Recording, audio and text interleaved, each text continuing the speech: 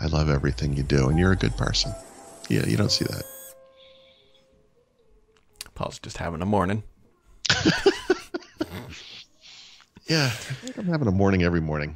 Wait, you know, and technically, that's a benefit of living. Um, so there you go. Right, the pain. You know, the pain makes you helps you know you're alive. yeah, It's very zen. it is. Or, It you know, is very zen or something like that. Um, Pain. Speaking of things that still appear to be living, uh, there was somebody posted up screenshots from some uh, Xbox developer documentation that was not released publicly, but was I'm just gonna stop you right there. I, apparently, you've never been to YouTube because YouTube tells me that this is nonsense, and there's a guy I don't know his name, but he's been making up stuff about this Lockhart thing that doesn't even exist. So been writing about it since 2018. Paul, I've heard, I've heard them all. They've all been stabbed deep and keep twisting. why? Why do you lie, Brad? Why? What's, Oh, what it- inspires you? it's what it's what wakes me up in the morning. It's like I can piss some How people can I off lie to the world more? yeah, I know the feeling. Anyways, when Paul wasn't being a jerk, um, there's some Xbox game developer documentation screenshots that were posted up from documents that were released uh, this month. I keep thinking it's July, but it's this month. And it very clearly talks about Lockhart and Lockhart profiling, which is the Xbox Series S, which they're going to more than likely be announcing here potentially this month. So shouldn't have to wait too much longer. Oh, so you actually? Oh, oh that's interesting. So you think it's going to hum Gen One? I think so. Uh, it's Yeah. let me put it this way: the developers are very clearly being told to target two different boxes: the the Series So X. you? All right. Well, I mean, given that, right?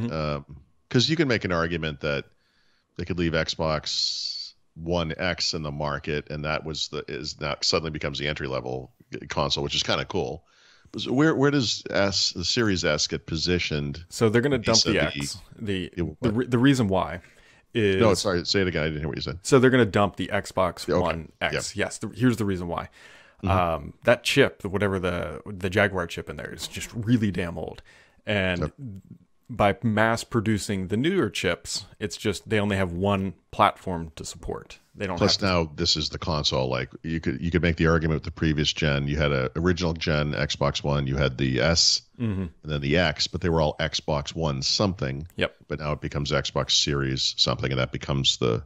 So I, that does make sense to me. Yep. And then that's positioning, but uh, from a performance, uh, visual capability perspective, where does the Series S sit compared So to I the X? believe the target is 1080p, 60 frames per second, Okay. and then the X is 4K, 60 frames per second.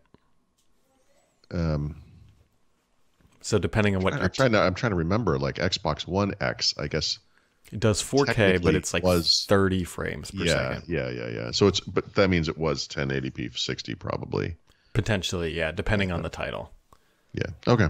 So, yeah, it, there is definitely an overlap of performance from the Xbox One X to the Xbox Series X. Like they, they do cross, like potentially, but you're going to be missing things like ray tracing and just the newer, um, just optimized GPUs and all that stuff. So, um, I think the idea is your mass mass production of one type or generation of console, get the economies of scale going, and then just kind of move it away from Jaguar. It just makes life easier for everybody. Xbox One. What year did that come out? Do you remember? Was it 2011 or 2013? It was around there. It's like eight, eight or nine years old at this point. So Right. something like that. It's it's it's it's served a life. Oh, for sure. Yeah, I, I literally use this thing every day. yeah. So do I. I mean, I, I and I have my issues with it. I mean, to Sure. be yeah, to be sure, but um, but yeah, I mean, it works great. I I overall, and um, yeah, uh, curious now. The- It's interesting. I I uh, I would have expected something different, but now that you kind of lay it out like that, I think going forward with two consoles and then having that be Xbox hardware wise makes tons of sense. Yeah, I think it does too. That way, that way they just have one. I don't quite, we don't quite know all the details yet, but it wouldn't even surprise me if the CPU coming down the line is like the exact same one.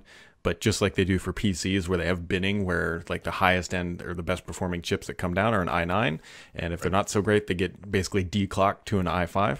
It would not surprise me in the slightest if AMD is producing one chip for Microsoft, and then they're saying, look, these are the fast ones, these are the slow ones. You know, put them in the right console, and they get higher yield that way. So, Cool. Yeah, we'll see. I'm hoping hopefully Microsoft talks about it soon, but we don't have an exact date for their July event yet, and they potentially may not announce it in July. But I don't know. They they got to talk about pricing here soon. So on their hardware, they need to if they're going to do that, they need to address that. Yeah, I don't think it would be really awkward if they opened up pre-orders for the Series X and like didn't even talk about this thing, and then they launch it, and then like a week later, like, oh yeah, we got this lower priced one too. About, yeah, like another way, or even like um, Xbox Series X comes out this fall, and then next year they do the S, and it's like, wait, why, why, why would you do that? Yeah, um, yeah, putting them together makes sense for sure. So you got that. Um, Opera now integrates with the worst of the internet, known as Twitter, and so yeah, but they ran out of the good parts. So, like, what else is on that yeah. shelf? That maybe next up will be what is it, Google yeah. Circles? Is that what it's called? Google. what was that thing called? Uh, yeah, I don't. I think it's Circle or something like that. Whatever. Um, circles. I don't know. People who use Opera tend to love it. It's fine. I I don't personally use it, but yep, yeah, just good to know about. You know, it's another Chromium-based browser. I mean, mm-hmm. been around a while. They know what they're doing yeah, I think it gets the job done. Not a whole lot else happened yesterday. I mean, a lot of it's still Apple's WWDC sessions yeah, are still ongoing. I was saying to my son this morning. I'm like, I've been so busy this week, and he's like, Why? What's going on? I'm like, really not not much. I, I you know, it's just it's just the way it's kind of worked out. I mean, even this morning, like I've been going through the comments from yesterday. Mm. You know, hundreds of comments on these Apple articles, and that's you know, it's a lot to get through. And yeah. I, I got to be honest, I want to get by it. I, um, you know, I wrote that thing yesterday about I want Microsoft to kind of be more like Apple with regards to the way that it updates Windows. Mm-hmm. I don't want to use the Mac. I mean, I want to be really clear about that. I just bought a Mac not so because I'm like secretly switching to it or something. Like I very much prefer Windows, and uh, to remind myself of that, I used the Mac yesterday a bunch, and um, I don't like it.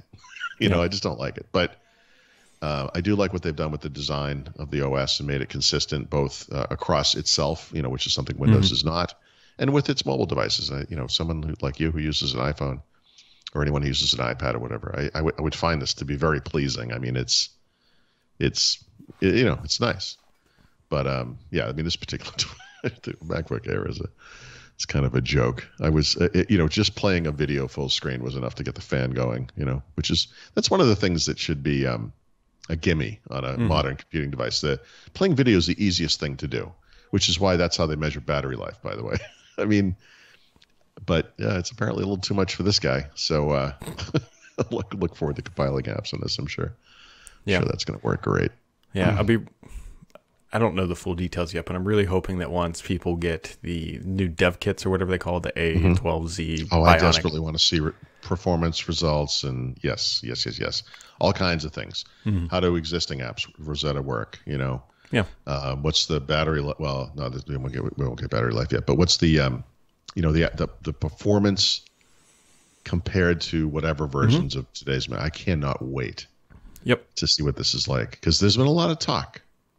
You know, the A series chips are supposedly the greatest things. You know, this is going to go two ways. We're going to find out. This is going to go two ways.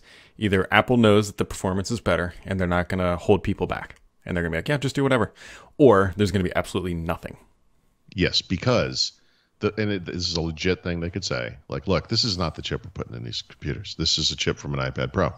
We told you we're making a specially special family of silicon just for these computers. Mm-hmm. This isn't it. So this is in no way representative of what you're going to see in the real world. That said, I think it is. Yeah. so no matter what they say, I think it is. I, I, I don't don't get me wrong. I, I'm sure they'll scale up. Sure, you know? but it's a starting. I'm sure they will. You, you got to start yeah. somewhere. Yeah, yep. So, so, we'll see. I, I like you know we already said I cannot wait to see what happens. Yeah, very interested in this. I think I don't think you're alone on that. And um, yep. Apple did officially confirm. I don't I don't even know why they had to officially confirm it, but there will be no boot camp.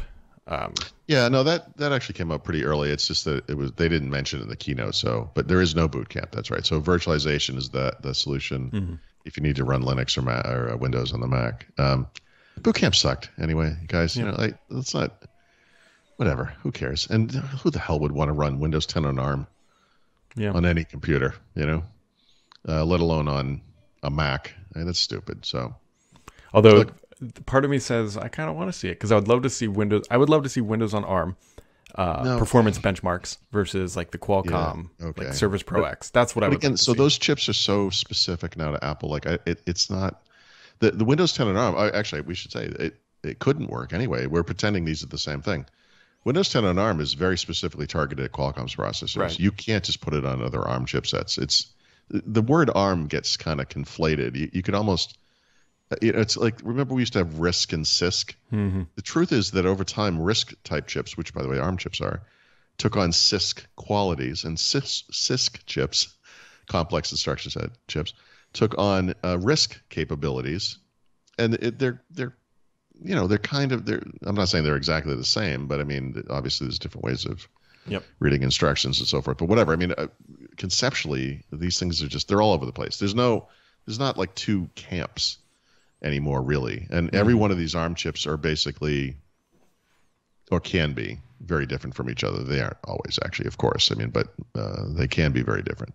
Yeah. And I bet Apple's are at this point. They- oh, I bet. I, yeah, Apple licenses ARM technology to be able to build their chips, but then Yep. Yeah, but that's, That's- but they they moved past it so Right. long ago. You know, the problem, like on the Android side, it's, it's just like the problem we have in Windows with all these different PCs and different companies. Is that you know if you're an Android hardware maker and you're choosing chipsets, like those chipsets all have to be basically, you know, they're in the same path. Like Yep. they they go off of a reference design that ARM creates, and they they go from there. And we see what Qual- Qualcomm's been the most successful. Samsung does this. Uh, Huawei does this. Other companies do it, but you know they they have to run Android if they're going to be on a phone or a tablet, right? I mean, so they're not going to be that different. But Apple can, you know, Apple does their own thing. They can do whatever they want. That they It's can. going to be interesting. Just like I can do whatever I want. Yeah. Typical Apple.